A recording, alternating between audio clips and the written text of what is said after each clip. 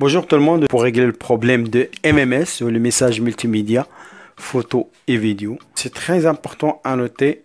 Pour envoyer des messages multimédia, photo, vidéo, vous avez besoin d'internet. Mais quel internet? Wi-Fi ou données mobiles? Ça c'est un grand problème.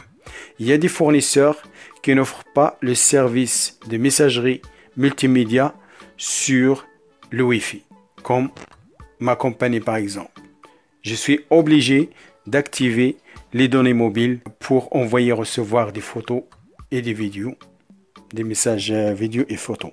Donc je vais vous donner un exemple. Salut, ça c'est un SMS régulier, donc je l'ai reçu tout de suite. Ça a pris une seconde. Mais pour les messages photos, euh, je vais vous montrer, j'ai fermé les données mobiles et j'ai activé le Wi-Fi comme vous voyez. Il y a la petite trombone je vais ajouter une pièce jointe photo et j'envoie. Voilà, donc je l'ai envoyé. La meilleure des choses à faire pour tester vos messages, que ce soit SMS ou MMS, c'est de vous envoyer à vous-même, à votre propre numéro de téléphone, un texto ou un MMS pour voir si vous pouvez envoyer et recevoir en même temps. Donc, comme vous voyez, je, viens d'envoyer une photo à mon propre numéro, mais je ne l'ai pas reçu. Donc maintenant, je vais aller fermer le Wi-Fi je vais activer les données mobiles. Voilà.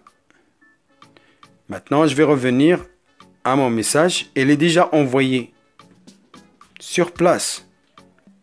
Comme vous voyez, elle est déjà là. On va aller dans les paramètres.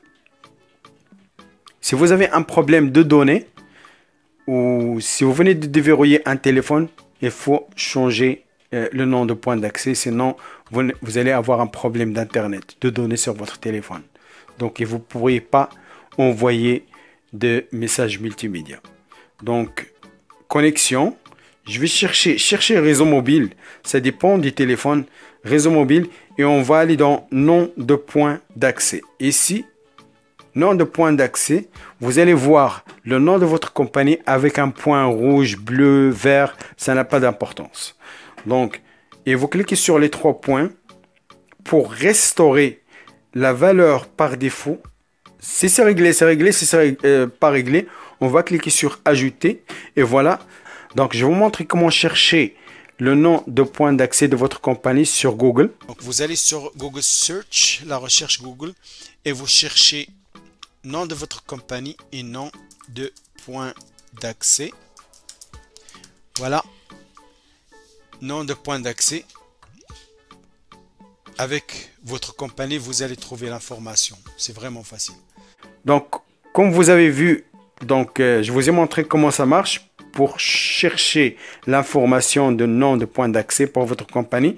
Il suffit d'aller sur votre téléphone, nom de point d'accès, et de remplir toutes ces informations. Vous cliquez sur, sur chaque information et vous cliquez sur OK Cliquez sur une information, remplissez l'information.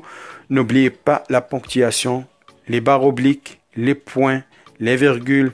C'est très important. Si vous oubliez un seul point, ça ne va pas marcher. Et aussi, il y a le, mode réseau. Le mode réseau pour choisir le 4G, ce que vous avez avec votre compagnie. Donc, euh, dans d'autres téléphones, c'est marqué type de réseau préféré. Dans d'autres, c'est mode réseau. Donc, ça dépend des téléphones. Même si vous n'avez pas de problème, il faut redémarrer un téléphone euh, minimum une fois par semaine. C'est vraiment ça que je voulais partager avec vous aujourd'hui. S'il vous plaît, abonnez-vous à la chaîne. Si vous avez des questions, des commentaires, passez une bonne journée. Au revoir.